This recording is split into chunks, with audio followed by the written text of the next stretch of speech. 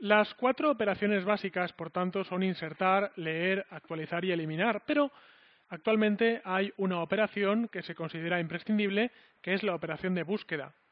La búsqueda, aunque no lo parezca, realmente es una selección. Es una selección con condiciones. Por tanto, lo que voy a hacer a continuación es simplemente decir que, por ejemplo, quiero buscar eh, un registro cuyo nombre sea Juan. Por tanto, continúo y aparece el registro o los registros, porque podría haber varios, que cuadrarán con esa condición, que cuadrarán con Juan. También puedo, atención, buscar elementos que empiecen con J. Pero si yo pulso buscar, si yo pulso continuar, no me dará ninguno. Esto es por lo siguiente. Cuando yo pongo un operador de tipo like, lo que estoy especificando es que quiero una coincidencia bastante exacta. En, cambio, cuando pongo un like con almohadillas, lo que va a aparecer es todos aquellos nombres que tengan J en el nombre. Así que me aparecen Juan, Jaime y José.